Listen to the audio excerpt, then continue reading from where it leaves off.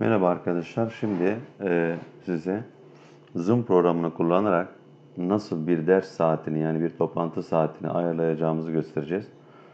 Ama öncelikle e, bilgisayarınıza ya da telefonunuza ya da tabletinize diyelim Zoom programını indirmiş olmanız gerekiyor. Tabii ben burada Zoom programını indirdim.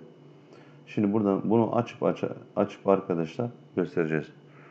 Açıyorum Zoom programını çift tıklayarak. Evet burada hazır yapılmış bir tane var zaten. Buradan normal meetingimize geri döneceğiz. Normal meetingimize de geri dönmek için şuradan home'yi diyoruz galiba. Evet. Evet buraya geldik. O daha önce ayarlanmış bir ders saatiydi arkadaşlar. Bu şekilde.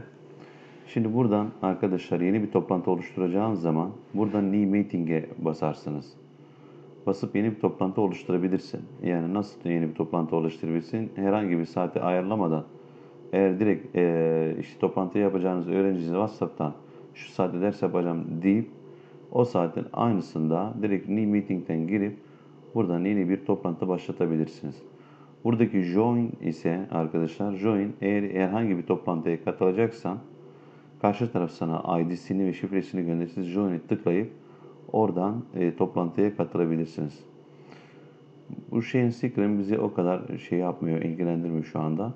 Bu Schedule denen bir yer var arkadaşlar. Bunu tıklayıp buradan ders saatini ayarlayacağız. Evet tıklıyorum ben şu anda. Tıkladım. Bakın evet şurayı bir silelim. Arkadaşlar sildim. Şimdi mesela burada ben hangi sınıfa ders yapacağım? Atıyorum ben hangi sınıfa giriyorum? İşte 8 8. sınıfa giriyorum. Hangi 8'e giriyorum arkadaşlar? Ters slash e, B sınıfına giriyorum ve mesela diyorum 8 ters slash yaptım. C sınıfına geleceğim. Bu sınıflara ne anlatacağım arkadaşlar? İşte ne? Matematik dersi diyorum. Matematik dersi diyorum. Kim? Umut Hoca diyorum. Bu şekilde buradan dersin adını tıklıyorum arkadaşlar. Burada start diyor. Start dediği zaman bakın burada tarih var. Bugünün tarihini gösteriyor şu anda. Mesela ben ne zaman ders yapacağım? Atıyorum. 10 e, Ekim diyelim. Cumartesi günü. Cumartesi gününe tıkladım. Bakın burada gözüktü. Buradan ondan sonra buradan saatini giriyorsunuz. Mesela saat kaçta ben ders yapacağım? Misal kaçta yapacağım mesela ben? 20, e, 8'de yapacağım diyorum. 8'de değil de e, kaçta yapacağım mesela? 8'i 20 geçe yap derse başlatacağım.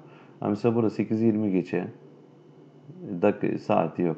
Ne yaparsın? 8-20 geçeye tıklarsın. Buradan bakın şu mavi oldu. Mavi olduktan sonra şunu kendin yazabilirsin. Bakın mesela 20 oldu. Ne dedim şimdi ben mesela 8'i 20 geçe buradan ders başlayacak diyorum. Ders saatimiz burada arkadaşlar bakın 0 dakika, 15 dakika, 30 dakika, 45 dakika. Şimdi burada ders saatinizi 30 dakika ayarlamada yarar var.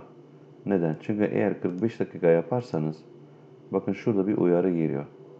Bu uyarıda şunu demek istiyor Diyor ki size 40 dakikanın üzerinde olan dersler e, limit 40 dakikadır diyor. 40 dakikayı geçersen diyor sana iki defa haklanırım diyor.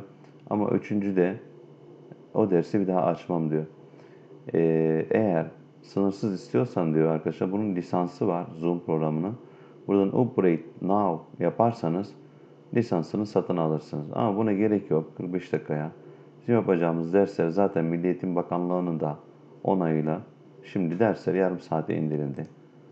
30 dakika yapabilirsiniz. 30 dakika yaptıktan sonra buradan zamanımızı seçiyoruz. Tabii biz Türkiye'de yaşadığımızdan dolayı ne diyoruz? İstanbul burada otomatik olarak ayarlı. İstanbul'u tıklayabilirsin. Ha ben İstanbul'u tıklamıyorum diyorsan arkadaşlar Buradan Atina var. Bakın Athens, Atina. Atina'nın da saati aynı bizimki gibi Yunanistan'ın. Ama Atina yapacağımıza biz buradan bizim saati ayarlayalım. E, İstanbul'u ayarlarsınız arkadaşlar. Tabi bulabilirsek İstanbul'u. Nerede İstanbul? Bulamadık. İstanbul en üstte olsa gerek. İstanbul, İstanbul, İstanbul. Evet, İstanbul, Dublin. Neyse buradan İstanbul'a girip e, şey yapabilirsiniz arkadaşlar. Şöyle tıklarsak, bir daha tıklarsak mesela İstanbul, evet işte burada arkadaşlar. İstanbul'a tıklarsınız. İstanbul tıklamada yarar var. Şimdi Meeting ID'ye gelelim. Meeting ID'de burada e, otomatik diyor. Yani otomatik ID oluştur diyor. Bu o, otomatik ID'nin amacı şu. E, mesela gireceğin, yapacağın her toplantıda ya da derste işte diyelim senin ID numaranı otomatik olarak değiştirir. Yeni bir ID numarası verir. Ama yok ben bunu istemiyorum diyorsan şunu tıklayabilirsin. Personal Meeting. Personal Meeting demek bu senin sabit ID'in demek arkadaşım. Sabit ID'yi girersen bunun şöyle bir tehlikesi var. Şu ID ve şu şuradaki şifreyi görecek olan kişi şu ID ve şifreyi girdiği zaman her an senin dersine katılabilir. E tabi biz öğrencilerimizle ders yapacağımızdan dolayı bunu herkesin bilmesine gerek yok. Ha öğrenciye gönderirsin bakarsın öğrencinin abisi girer, bilmem kimi girer, şunusu, dusu, akrabası girer. Hiç gerek yok. O yüzden otomatik ID dediğin zaman sen her girdiğinde senin bu ID'in değişecek arkadaşım. Burada da ne diyor? Waiting room, bekleme odasını tıklarsan yani her girecek olan kişi bekleme odasında bekleyecek. Bekleme odasına geldikten sonra arkadaşlar orada admit denilen bir şey karşına çıkacak toplantı esnasında. O admit'e tıkladığın zaman o öğrenciyi nereye? Kendi dersine katmış olursun. Video diyor burada. Videoda bu video dediği şey arkadaşlar derse girerken, Zoom'da dersi başlatırken host burada kendimiz. Sana diyor ki kendi sen kendinin kameran, kendi kameran onu tıklarsan derse girdiğinde açık olur. Off'u tıklarsan şunu demek istiyorsun. Ben derse girdiğimde benim ekran görüntümü kapat demek istiyorsun. Burada participation, participants ne diyorsa işte burada öğrenciyi kastediyor. Dersine girecek öğrencinin videosu eğer açık olarak gelecekse onu tıklarsın. Ama yok hayır öğrencilerin de videosu kapalı olsun diyorsan off'u tıklayacaksın ki off'u tıklamakta yarar var. Her ikimizin de hem öğretmenin hem öğrencinin off'u tıklamasına yarar var. Yani olur olmadık başka şeylere sebep olabilirler. O yüzden olmaması için ikisinin, ikimizin de kameraların kapalı olması daha iyi olur. Burada calendar diyor. Calendar dediği takvim arkadaşlar. Takvim, Outlook takvimi var, Google takvimi var. Bir de diğer takvimler var. Siz burada ne yapacaksınız? Diğer takvimleri tıklamada yarar var. Çünkü öbür Google'da mesela herkes Google'dan girip şey yapabilir, sizi görebilir yani takviminizi görebilir. O yüzden diğer takvimleri demekte yarar var. Burada Advent, Advent Options var arkadaşlar. Evet burada Advent Options'ta mesela burada ne diyor? Enable John before host.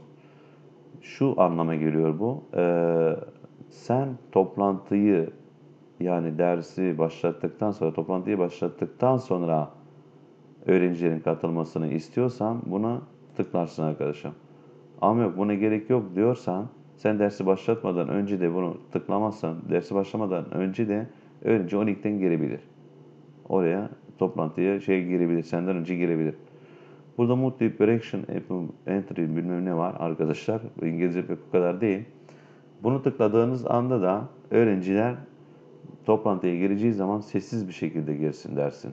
Tıklamazsan sesli bir şekilde yani girdiği esnada direkt sesini açıp konuşabilir öğrenci arkadaşlar. Burada da otomatik record zaten kaydet demek. Record meeting yani toplantımı benim otomatik olarak bilgisayarda kaydet diyorsun. Bunu tıkladığın anda arkadaşım senin toplantını ne yapar? Kaydeder arkadaşım. En son bunları yaptıktan sonra arkadaşlar burada save tuşuna basarsın. Bunu kaydetmeyin ben ama tıklayıp eğer kaydederseniz en azından dersinizi kaçıran öğrenci olursa o kaydedeceği videoyu WhatsApp üzerinden öğrencilerinize tekrar geri gönderebilirsiniz.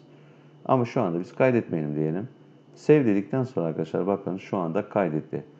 Burada ne var mesela bakın burada burada link var arkadaşlar bakın linkin kendisi var. Sen bu yazının hepsini bu yazının hepsini ne yapacaksın? Bunu hepsini WhatsApp grubundan öğrencilerine atacaksın. Öğrencileri attığın zaman şuradaki link var ya arkadaşlar. Öğrenciler linke tıkladığı anda telefondan tabi gelecekler linke telefondan girdiği esnada linke tıklar tıklamaz ya da atıyorum e, bilgisayardan girdi. Bilgisayardan WhatsApp web'i açmış. WhatsApp web'de direkt linki tıklarsa yine ne yapar? Direkt dersinize katılır. Ama yok bilgisayarda ama WhatsApp web'i bilmiyor çocuk. Ne yapacak? Zoom'a gelecek. Orada join'i tıklayacak. Join'i tıkladıktan sonra şuradaki ID ve şuradaki şifreyi arkadaşlar.